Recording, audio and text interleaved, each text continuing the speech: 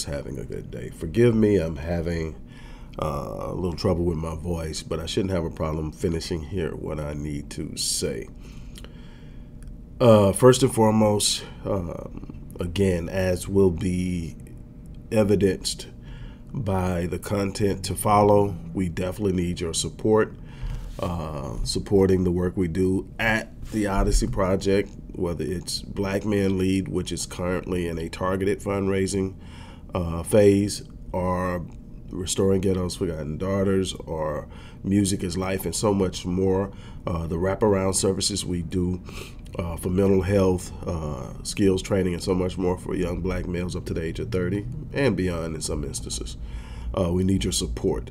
Uh, we need to start supporting organizations who are actually put, uh, boots on the ground doing work, something that we are failing at miserably. But I want to talk about something that is currently trending right now, and everybody's got a, an opinion one way or another. I want to talk about this, and I'm going to be very careful because I know how sensitive things get, and want to make sure I stay within guidelines. Uh, we know how it goes. Um, Dwyane Wade, D Wade, um, Gabrielle Union, D Wade's, uh, if I'm not mistaken, youngest son, um, who has changed the name. I'm not going to say the name. Uh, I'm not going to go through all that. Uh, who has been almost a poster child for gender identification in children. Um, and I think that there's a problem with that, and I'm going to tell you why in a minute. But uh, there's a recent family photo of D. Wade and Gabrielle Union with the daughter, uh, Zaire, which is D. Wade's older son, who is probably taller than D. Wade now, um, and a basketball player, and his young girlfriend, and then his youngest son, and uh, another young white kid who looks underage as well. Uh, and underage is what I really want to talk about. Uh, and there's so many other things we can get into with this whole gender identity thing that I don't really want to get into right now. But I would, what I do want to get into is we keep talking about protecting our youth. We keep talking about uh, the importance of covering our youth, protecting our youth. Uh, so when we start talking about gender equality, gender identification, giving people the right to choose how they want to identify, we can talk about all the other things that come along with it. And there's a place for that. There's a place for that. There's a place for that. I'm not here to tell somebody what they can identify as or what they can't. What I do have problems with is when it interferes with other people's beliefs, standards, and the way they move. If you don't want me to interfere with you, then you can't expect me to open up and let you interfere with me. Now, do what you want, say what you want, be how you want. I'm not going to discriminate against you. We can be friends, we can talk uh, to a certain extent, to whatever. Uh, I have gay people in my family. I have, uh, I don't know of any people who are identifying as another gender in my family. Doesn't mean they don't exist. Um, you know, I love everybody in my family, including those people. There's no difference in the way I speak to them, handle them, treat them, or love them. Uh, they understand that I have a different point of view.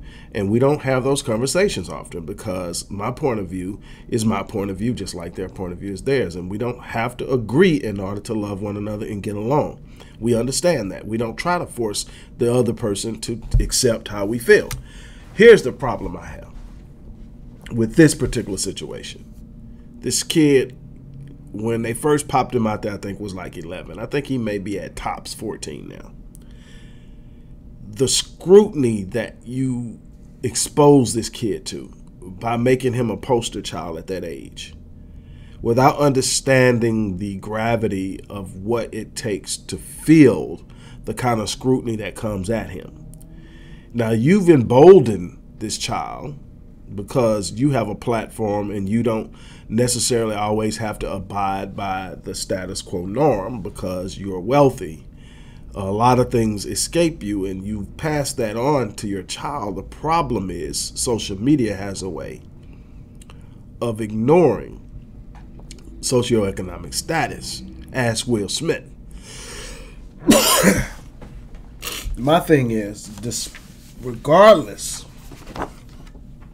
regardless of what your beliefs are, and my beliefs are clear. I don't want to be ambiguous about where I stand. Is I don't support it, but I love anybody who uh, I consider to be my people. So I'm not going to ostracize you. I'm not going to mistreat you. I'm not going to talk down to you. Uh, I'm not going to ignore your journey. That's your reality. That's your journey. You're living it. I'm going to respect it. But here's the problem these kids aren't emotionally mature enough. They're definitely not sexually mature enough to be discussing or entertaining ideas about their sexuality or their gender preference. Uh, those are some highly complicated realities, some highly complicated uh, internal conversations that people have with themselves that you need a certain level of maturity to even process the consequences and the ramifications of decisions that are being made.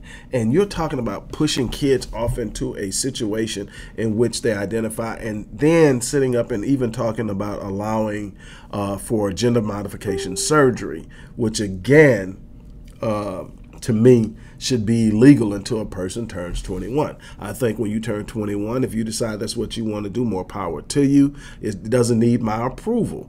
That's the thing. You don't need anyone's approval. The idea that someone says they don't agree with you doesn't end your world. But there's a whole entire group that feels like if they can't get you to say it's okay, then there's something wrong with you. No, just like you have your beliefs, I have mine and some of mine are non-negotiable and that's okay. Doesn't mean i can't treat you with respect. Doesn't mean i can't love you. Doesn't mean that we can't work together. It simply means this is one area we will not agree. It, it nobody is going to agree on everything. And and i don't do this from a place of dogma. This is nothing to do with i'm not a religious person. I'm very much in tune with god. I come from a very dogmatic christian background. Uh, but me and the church blew up a long time ago because I didn't support the dogma. But I do believe that there are certain things that are socially expedient, uh, culturally expedient, things that lend to support who we are and what we're trying to do. And there are other things that work against us. There are other things that have been placed strategically in front of us for us to stumble over. And we have to be real careful uh, it comes with a lot of study, a lot of reasoning, and a lot of understanding of the outcomes of certain social social situations uh, in the black community and historically. Uh, I don't take my position lightly, and I don't take my position personally. That's why I give people room to be them.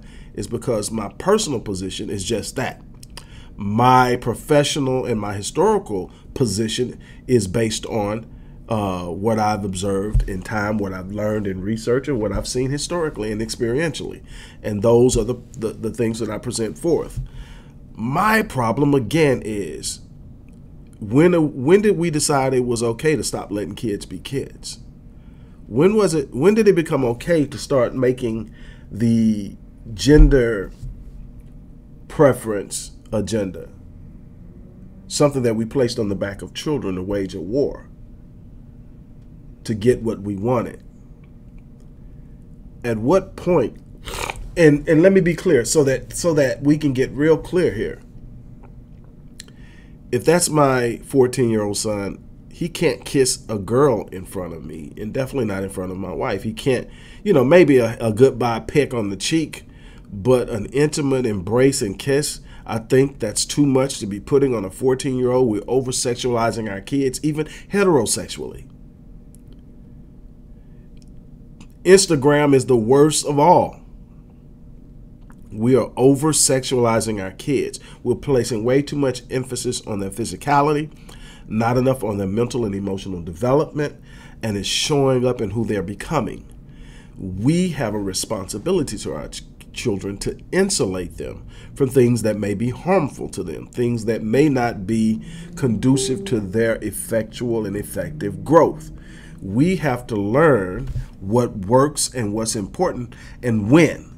There's a time to have the conversation with our children. And unfortunately, culture and society is pushing that age further and further back. But to unleash the full brunt of something as complex as gender identity on a 14 year old and when it was actually pushed initially the child was wasn't even a teenager the idea that a child can take on something of that magnitude and effectively navigate all the labyrinthine corridors of social development, mental development, sexual development, long term implications, short term implications, social impacts, social. Uh, social response and so many other things that they're going to have to go through in that decision that's a lot to put on a child you're not you you you don't see the correlation between the increase in prepubescent uh, suicide. Our children are being forced to face way too much at far too young. And so my whole problem with this is that we need to leave adult conversations, topics, and issues in the adult category. We need to invest ourselves in providing an insulated and protective area for our children to effectively develop and become properly socialized so that they are empowered and prepared to take on a world that's inherently hostile towards them already. And then when time comes, if there's something they don't see eye to eye with society on, if there's something they want to shift, they do it with a well developed understanding of who they are. They do it with a time. Here's the here here, here here's why it's important because uh, from a statistic and professional uh, perspective, from my expertise and not just me talking over 80% of gender confused are, for a, lack of a better term, children who are questioning their, their gender identity. Over 80%, if left uninfluenced by either side, normally choose their natural assignment and live healthy lives. So, how many are being influenced social, solely by having it pushed upon them. How do you know you're not pressuring a child to accept something that they're simply questioning? I think you've got to step back from that. I think that has to stop being a preeminent question at such an early age. I think that as parents, we've got to challenge that. I think that as parents, we need to become more involved in the development and the growth of our children, period. Not just in their hypersexuality, but in their overall development. We are not producing children that are going to be highly effective in the world. We're, we're producing children who are uncertain of themselves. We're producing children who are entitled. We're producing children that are more concerned with the accumulation and acquisition of things than the development of oneself and the power to go out and produce and have a life that they can be proud of and sustain. There is so much that we are not doing, and it's on us. This is why I, I keep coming to you and saying we need to support programs in the community that offer identity. We need to have more programs like Black Men Lead that will empower young black youth to stand up and be who they were designed to be. And even in the sense that they decided to be something else, they shouldn't have to grapple with that at such an early age. What we don't realize is there's an even darker agenda behind it. See, if we start to get, if we start to make it acceptable for young children uh, at a prepubescent age to determine their sexual preferences and their gender preferences, and we we we continue to hypersexualize them. We continue to make them uh, be more perceived and, and, seen in a sexual way. We advance this agenda that nobody seems to be talking about, but that is very present of pedophilia in acceptability in a pedophilia in pedophilia. And what do I mean by that? There are literally organizations and groups that are pushing the legalization of pedophilia, the normalization of pedophilia. Ephebophilia has almost become acceptable. And for those who don't know the difference between pedophilia and ephebophilia, a pedophile is someone who is sexually attracted to prepubescent youth, youth who have not yet sexually developed. Uh, ephebophiles are uh, people who are attracted to a minor who has sexually developed. So if it's a female, she has breasts, she's developed hips, or whatever else that can be associated with uh, sex, sexual uh, attraction. Uh, you know, a male may be more physically attuned and developed and have certain appearances, but they're still minors. And the fact that they're minors is a part of the attraction. Uh, so a has almost become acceptable.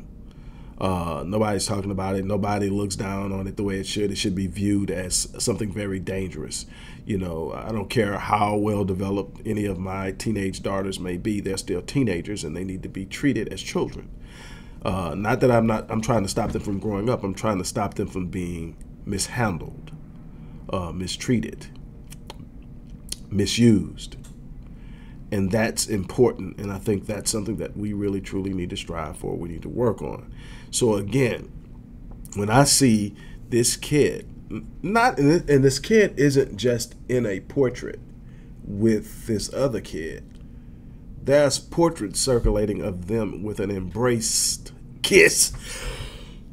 Excuse me. With an embraced kiss. Again my 14 year old son can't do that with their girlfriend. My my my my my uh 17 year old had her first boyfriend that she met in middle school. And I met him before she even knew I knew about him. I've already peeped him out. I saw how they would move, and then they would always act like they weren't together. And So I just called her on it, and she admitted it.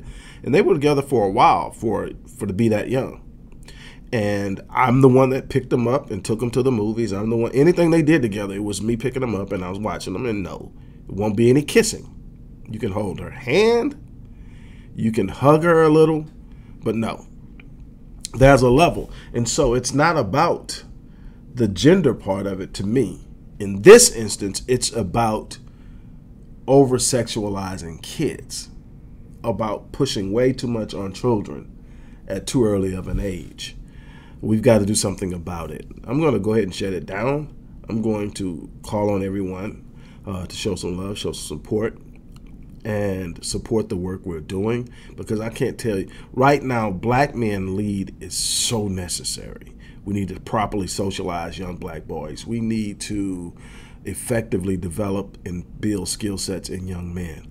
We need to build a parameter, so to speak, of strong black men. And we need to develop the young ones that are coming along.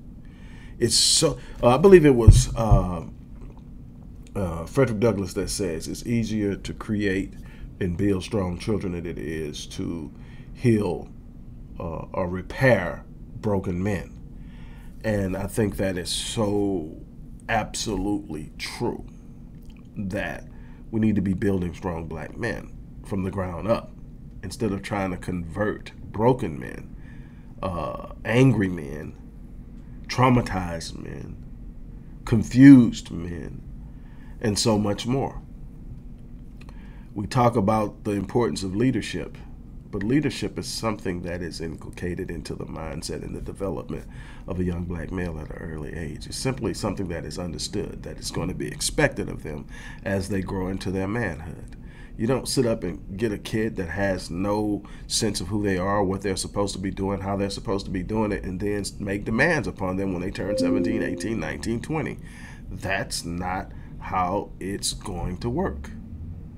So, again, I'm asking for your support, support the work we're doing, whatever it is, we need to come together and make it clearly understood that we're not going to eat, sit idly by and watch the over sexualization or the hypersexualization of our youth. That's something that's definitely got to change. On that note, I'm out of here.